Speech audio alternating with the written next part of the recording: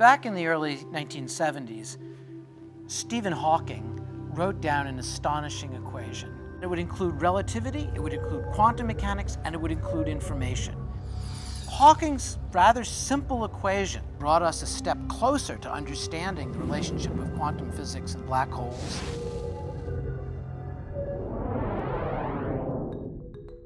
When an object crosses over the edge of a black hole, its event horizon, the object enters a realm basically of empty space, of darkness, and it continues to be dragged toward the center of the black hole, toward what we call the singularity, where it gets crushed out of existence. Every object, in some sense, contains information because it contains a very specific arrangement of particles.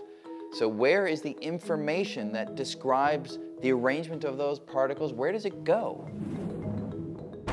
Hawking's description of this process was that the energy remains, but the information disappears. For many years, for decades, people wondered, is Hawking right? Is the information obliterated and disappears from the universe, or is it still there and perhaps can be in some way retrieved?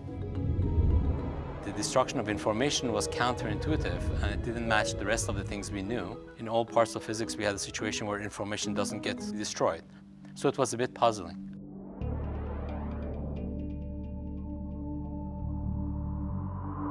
This debate furiously went back and forth up through the 80s and into the 90s when people finally began to articulate this new principle, this holographic principle. And what it said is that all the things that were falling inside a black hole were somehow captured in a preserved image at the horizon itself. So if the information is not lost on the surface, information is not lost inside because they are equivalent. All of the information about those objects, what they were like in their three-dimensional existence, was preserved or encoded on the surface of the black hole.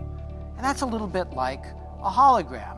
Well, that suggests that maybe that idea may apply more broadly to the universe as a whole. Maybe the three-dimensional objects, us, everything in the world around us, maybe all of the information in these objects is carried, is smeared around a distant two-dimensional surface that surrounds us, and we're just in some sense a holographic projection of that distant data.